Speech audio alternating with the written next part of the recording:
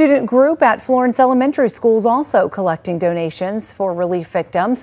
A flood recovery drives being hosted by Harlan Peer Helpers, and it runs through Friday. They're looking for batteries, bottled water, diapers and wipes, first aid kits, and canned food. Harlan Elementary School's principal says he's proud of their Peer Helper program.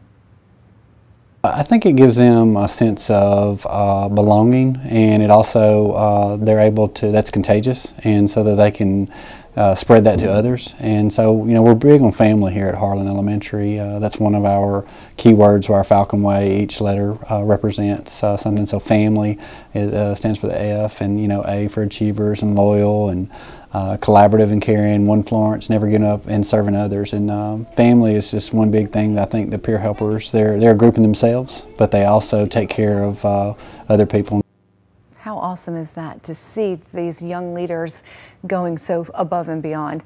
All donated items will go to Helene victims in Tennessee, Georgia, and of course the Carolinas. You can drop off those donations at Harlan Elementary School again now through Friday.